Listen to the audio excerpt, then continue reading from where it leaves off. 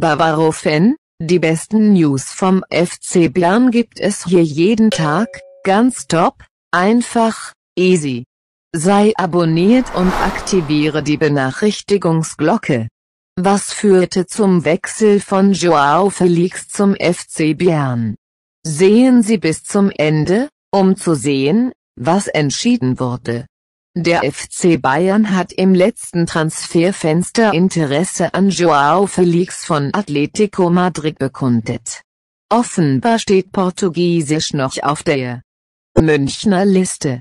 Der FC Bayern hätte Konkurrenz wie Sport 1 vor einigen Wochen berichtete, hätten sich die Verantwortlichen des FC Bayern bereits im Juni bei Atletico Madrid gemeldet. Der deutsche Rekordmeister fragte offenbar, ob ein Transfer von Joao Felix möglich sei.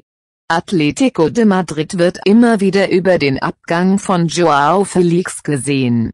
Und nun berichtet die spanische Sportzeitung AS, dass mehrere Top-Clubs Interesse an dem 22-jährigen Stürmer bekundet haben. Es geht also konkret um Paris Saint-Germain und den FC Bayern und ein Premier League Club hätte nach dem portugiesischen Nationalspieler gefragt. Laut AS könnte dies Manchester United sein. Atletico Sportdirektor Andrea Berta sagte, er habe dem FC Bayern klar gemacht, dass man den Offensivspieler nicht gehen lassen wolle, auch nicht für 80 Millionen Euro. Ob das noch so wäre, bleibt spekulativ.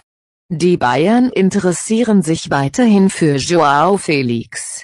Was hältst du von Joao Felix im Kader der Münchner? Kommentar. Wir bringen jederzeit weitere Informationen über Transfers, Kontroversen und mehr. Melden Sie sich an, um nichts zu verpassen.